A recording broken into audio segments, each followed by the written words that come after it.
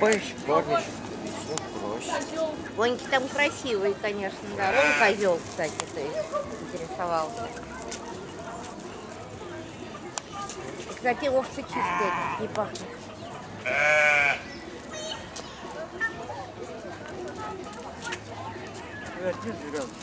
Сейчас. Деда.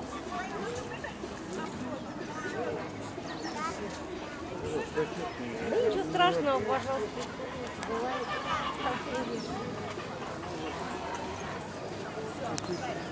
Бывает, хотели. Чуть-чуть делает. Ну, хочет порадоваться, понимаешь? Ну, Кто-то что-то естественно, да. хочет тебе радость эти. Хочешь, я вам прочитаю один стишок? Нет, спасибо, не надо. Нет, ну, чтобы вас зарядил на следующий праздник. Ну, у нас и так настроение хорошее вообще-то. Нет, ну, чтобы вы поняли, чтобы не просто такой человек к вам по- подошел, А вы поэт? Стихи пишете? 50 лет. О, как Это- со стажем, да, это уже Со стаж, стажем. конечно. Можете снимать, золото. Я с детства ненавидел мандарины. А почему? Не понимал их сам. Они меня дразнили из витрины. Чуть-чуть. Чужок похож на огонный храм. Такие гладенькие, нежные кругляшки. В плетеных сеточках висели за окном у Славика, Володьки и Наташки. Вот бы попробовать, лизнуть их языком, я им завидовал нутром своим, по-детски. У них родители по два, а без меня. Еще ж у мамки трое, мысли дерзкие.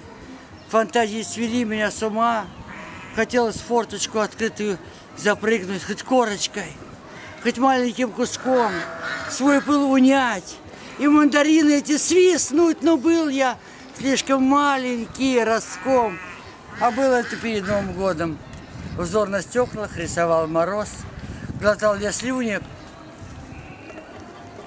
мне казавшийся медом, с неимоверной смесью детских слез замерз. Пошел домой рубать картошку. Капусткой заедая с кислицой.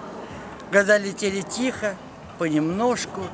И вот, когда я стал совсем большой на эти мандарины, развозлившись, зарплаты первой столько накупил, я, я пожирал их.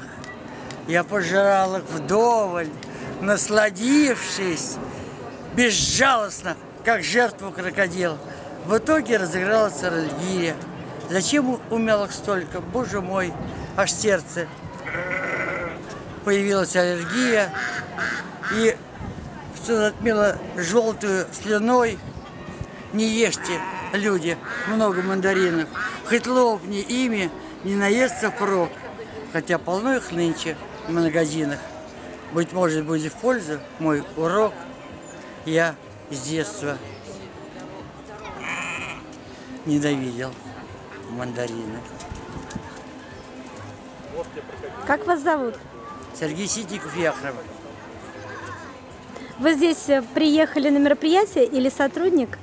Нет, я награжден премией именно за Яхраму, за свои стихи о Яхраме, о родине. Замечательно. Спасибо за вас. Для меня за родина это, это самое святое, что есть мама, папа в жизни, дети, внуки. Это, это самое-самое то, о чем я могу говорить открыто, честно и свято.